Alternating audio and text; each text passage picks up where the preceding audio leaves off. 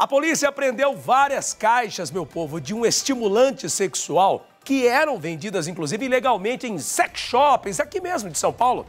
O produto, conhecido como melzinho do amor.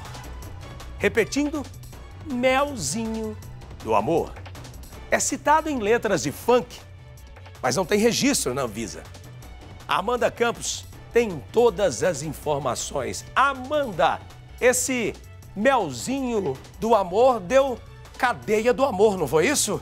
E pode trazer inúmeros malefícios à saúde do consumidor, Marcão. Esse caso aconteceu em dois sex shop de Paulínia, que fica a aproximadamente 100 quilômetros aqui da capital paulista. Em uma das lojas, os policiais acabaram apreendendo pelo menos 2.731 sachês e na outra 61 sachês desse produto que a gente mostra para o nosso telespectador.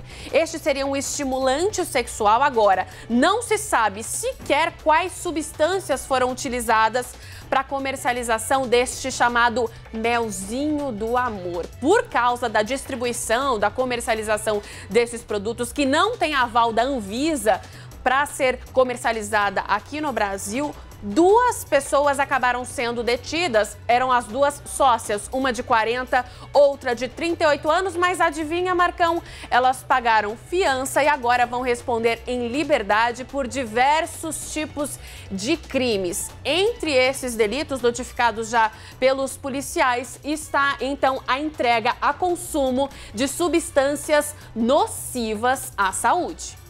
É o melzinho do amor que dá cana também e dá outros malefícios aí à saúde. Mas o povo inventa cada uma também, né? Pessoa, será que ela usava? Quem vende usa? É, eu acho que não, porque é impressionante. Como é que vende algo que faz mal para as pessoas? Como é que vende algo que destrói a vida dos seres humanos? Eu duvido que quem vende essas coisas que faz mal ao próximo, se ela usa. Eu duvido isso.